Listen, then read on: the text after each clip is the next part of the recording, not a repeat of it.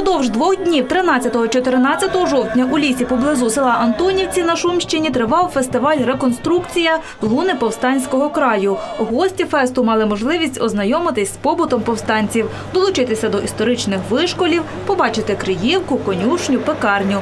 Ганна Тимчук в ролі пекаря. Жінка розповідає, для того, аби випікати хліб, у повстанців було дуже мало часу. Як не було, е, не було коли, а треба скоро хліба.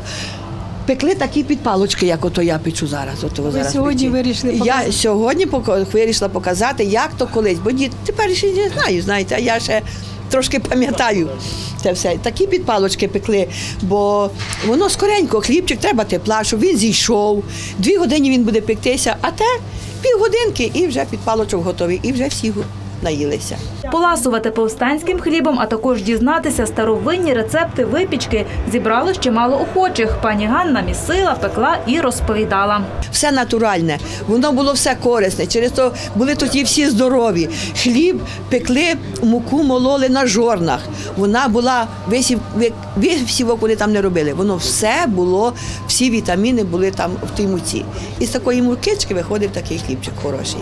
Та перед тим, як подивитися на відреставровані об'єкти повстанського табору, усі гості мали пройти блокпости і повстанські дозори.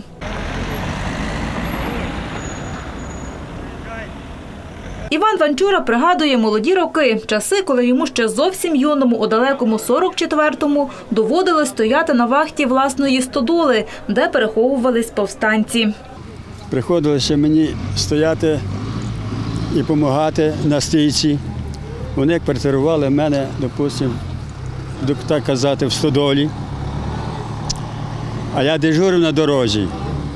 Ходив по дорозі, бо тоді 44-й рік всяка банда ходила, і, і рубашники, і польська та, польські стрибки банда ходила.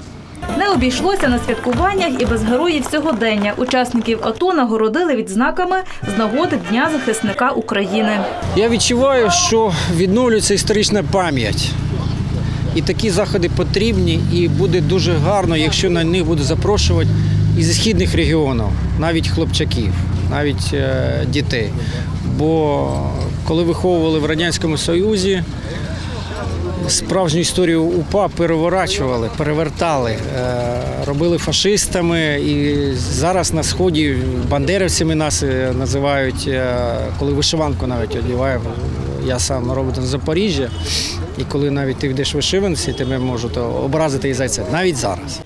Саме у цьому лісі функціонувала так звана Антонівська республіка, що об'єднувала села Тернопільської та Рівненської областей. Саме тут діяли перші загони УПА.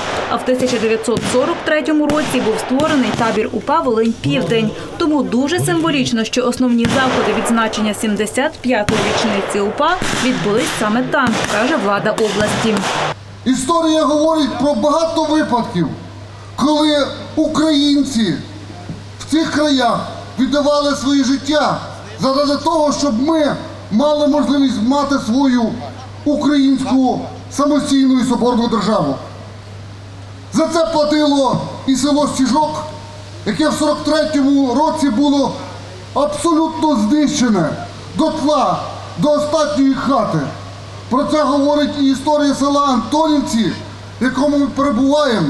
Саме з цього місця формується національно-патріотичний дух. Саме на цьому місці формується єднання, так як 75 років тому, коли на цій святій землі, яка полита кров'ю, формувалася Українська повстанська армія, найбільша армія під назвою Волинь, яка потім була назвою Антонівською республікою. Більше про цю подію дивіться у програмі Галини Мацетів «Погляд зблизька» у п'ятницю 20 жовтня о 20 годині 10 хвилин.